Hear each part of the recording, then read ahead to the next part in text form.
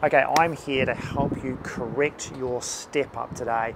And we're gonna break it down as some components to show you what you should be doing right, what you're doing wrong, and also the components of breaking it down, get those parts right to bring it back so you can fix your step up. Now, first of all, when you do a step up, the two things I see is a hip drop and a knee roll. Now, that usually happens on the way down because at the start, you are sort of in a bit of a hip drop because one leg is down further than the other and you've got a high step or bench that you're stepping up on.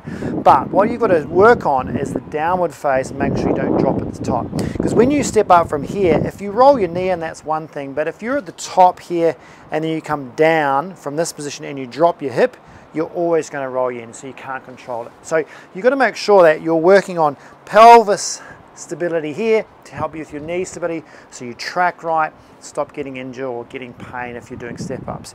So that's what we're looking for and then I'll show you how we're going to correct it. So let's take away this and go back into just thinking about the first two components are stepping down.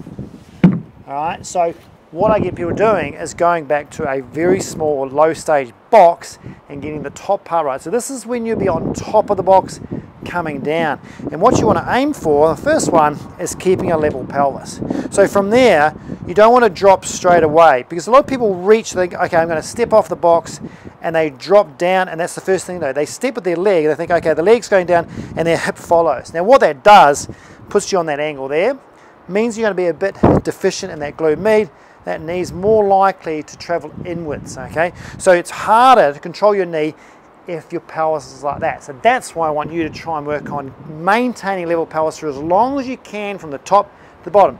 Guaranteed it's going to drop at the bottom, but half, the first half, that's why I want you to keep it stable. So what you do is just do a small state like this, okay, so you're not going too far from the ground, and what you do is try and think, okay, these two level parts here, the front bony parts of your pelvis, need to be level when I'm standing on one leg for a start, all right? And then we go from, from a straight leg to a bent leg, they've got to stay level. So I'm going to bend my knee and reach back and then come back up again. So you notice that what I'm not doing is dropping like that. Okay, so I need to try and maintain level here, sit back at the hips, bend the knee, step down, tap, come back up. Don't put weight through that back leg because you're going to be in mid-air. So you don't want to sort of weight bear and stop like that because that's taking weight off this. You're not learning anything on this leg if you start putting weight through that one too early. So make sure level pelvis. And the second thing is look at that knee. If you've got the level pelvis, then try and look at that knee and keep it over the center of your foot, which is basically laces or between your second and third toe if you can see your feet. So from there, bend your knee, keep that knee in line, as far as you can until it feels like it's going to roll in like that. It's because you don't want to go too low because there's no point trying to promote rolling in. So just work on the top level as far as you can go to there and then come back up. All right, so that's your step down component. If you've nailed that and you get that sorted, then you move to a lunge. So you think of like we're breaking up a step up into a step down and a lunge. So get rid of that, go into your lunge. Now with the lunge one, what this does is works on trying to get you know your level pelvis a little bit lower. So because if that star component is only the sort of top range, then you're going to go for mid range. So I would go into a lunge which stabilizes you a little bit more. And then what you want to do is not do 50-50, okay? Because you're not going to learn enough from the front leg. So don't make the mistake of dropping down 50%, 50% on both legs.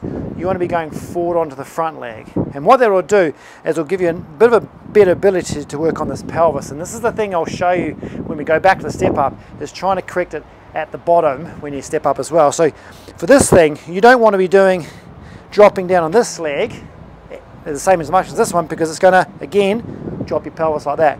So what you try and do is tuck a little bit with your pelvis that way, okay? So you actually put weight through this leg more than this one to start with, and then you've got to try and maintain that. So when you lunge, bend your knees, bend your hips, those two levels are trying to stay pretty even and then push back to 50-50. You may have to sort of reset that every now and again to get you out of this habit of doing that.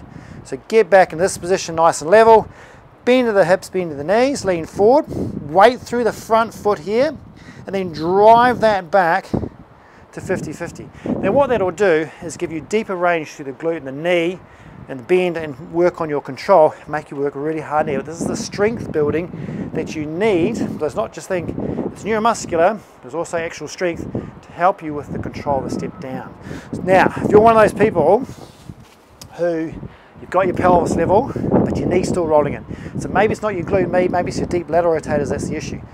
Use a band. So what you can do, if you've trained that hip right, but your knee's still an issue, I'll show you on my left one because the band's over there, is you now do a lunge or a step down with the band to help you sort that out. Okay, so the band, remember, when you've got a band like this, and I've shown you on the videos before, is the band's trying to pull you in. So you're trying to fight that and stretch the band a bit to get out there. That sort of awareness of pulling out will help you correct it, but also that tension is going to give you some strengthening here to actually laterally rotate the hip and bring your knee out over line of your foot. So then you can train your lunge, get your pelvis position right here, okay, get that sorted and train your lunge in that position, all right, and you can now focus on your knee because if you've sorted this part, you focus on the knee, try not to let the band pull your knee in, keep it there, deep as you can go without losing form, and back up, okay? Now some of you, when you drop down, you're gonna lose, lose you'll, you'll drop a little bit of pelvis, try not just drop too much. You're trying to eliminate how much movement you've been doing to try and pull that back to not too much movement. So if your lunge is okay, work on your step down, get the step down, get your band out. Remember, it's always the outside of the knee. Band goes around the outside of the knee. You can't go wrong when it's on the front leg. It's not going to pulling the other way, it's pulling that way. Same drill, pelvis right, step down, back. That little movement, which is the top of your step up. Remember, that little movement from there, straight leg to bending, still weight bearing through here though, not weight bearing through there, and trying to keep that knee in line with your foot, tension on the band. So that helps you correct what's happening at the knee. So if you've got those two things, what you can do, if you want a sort of an interim step, you think, okay, hang on, that step is a bit lower than that. You can jack it up with something like this, where you're going a little bit higher. Okay, so you're sort of closer to the height of a step up, right? And still not practicing step ups yet. What you want to then aim for is going from a step down into a lunge. Okay, so you're going to go from this point here, make sure your pelvis is level, step down, and then into the lunge, and then step up. Okay, what that's going to give you is a bit of depth like that because we go down into a lunge. All right, so from here, level, level, level, level, try and stay level as long as you can, then you step down, and then coming back up to that position. And make sure when you come up, your knees up. What you can add into is if you want to help with your coordination, is when your left leg comes up, your right leg's up. Of course with weights that's not going to happen, but for now for practice this really helps. So this left leg is up, your right hand is up, you go down, you swap, and then you come back up again. Try and make sure that you're slow on the way down, you're controlling that movement of the pelvis, controlling the movement of the knee, you're fast on the way up. All right, so you don't want to go fast on the way up. So if you start from here and you go fast on the way up, you don't want to go down too quick because you're just going to drop. So you want to aim for controlling slow eccentric, quick concentric. All right. So once you've got that, then obviously move. You finally can go back to your step up. And this isn't even with weights yet. This is just doing unloaded to get your form right. Then you can do weights. So with your step up, I'm going to show you from the front and from the back. So from the front, you're thinking, okay, from there, I've got a bit of a tilt here. I'm going to try and tuck in as much as you can. The easiest way to do that is not be way back here. You're not going to get it. Come forward a bit, then sit that pelvis. As much flexion as you can here. Remember, more flexion, more glute drive, okay? So from there, lean forward a bit, so the weight's on that leg, okay? So all the loading is here. You're not relying on the back leg, all right? And going and driving. And then when you come down, slow on the way down, okay?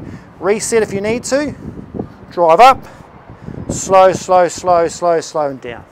Now when that looks like from the back, you're trying to, see because it's hard to see from there, you're trying to aim for this level here. You can see if I go back here, it's going to be on an angle.